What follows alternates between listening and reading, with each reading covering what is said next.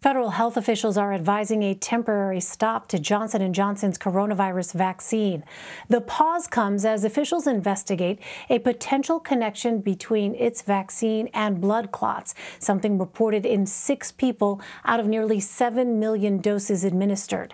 Debra Alfarone reports from outside FDA headquarters. The FDA and CDC recommended a pause in use of the Johnson & Johnson COVID-19 vaccine over concerns of rare blood clots. But top White House health officials say there won't be a significant impact on vaccination efforts. We have more than enough supply of Pfizer and Moderna vaccines to continue the current pace of about 3 million shots per day. Officials say there have been six reported cases of blood clots out of more than 6.8 million doses delivered. One woman has died. All six cases occurred in women between the ages of 18 and 48, and their symptoms developed 6 to 13 days after receiving the vaccination. This is a really rare event if you look at what we know so far. Federal health officials say those who've received the vaccine recently should seek medical attention if they develop any of these symptoms symptoms. They also warn using the drug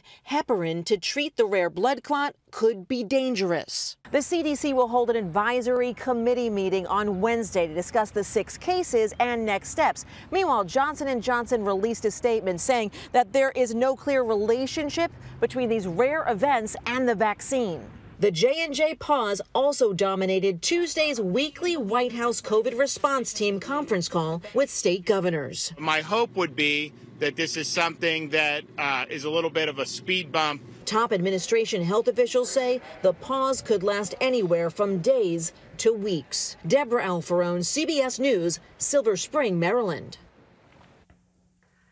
For more, let's bring in CBS News reporter Alex Tin, who has